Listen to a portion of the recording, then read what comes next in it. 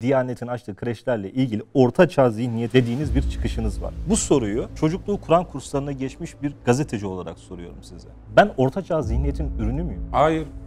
Çok net söyleyeyim bak. Diyanet'in işi başka. Ben Diyanet Kur'an kursu açmasında demiyorum. 4-6 yaş arası. Çocuk eğitimi. Pedagojik bir şeydir. Benim kastettiğim ortaçağ. Kilisenin kontrolünde Avrupa'nın karanlığıdır. Onların utancıdır. Orada haçlı seferleri vardır. Din savaşları vardır. İslam'ın ortaçağısı utanılacak bir dönem değildir. Ne demek istediğinizi anlıyorum ama kullandığınız ifade bu kafayla bilimin B'si, fiziğin F'si, matematiğin M'si de olmuyor üniversiteye gidince. Evet. Ben derece yap. Ben de size şunu söyleyeyim. Sizin dereceniz kıymetli. PISA sonuçları. 37 OECD ülkesinde 31. sıradayız. Sayın Özel, AK Parti'den Bakın. önce birinci sırada mıydı? Bunun nedeni Kur'an kursları mı? Hayır canım ne alakası var? Veya Türkiye'de mesela Ermeni cemaatlere Şunu ait de kreşler var. Bunlara da karşı mısınız?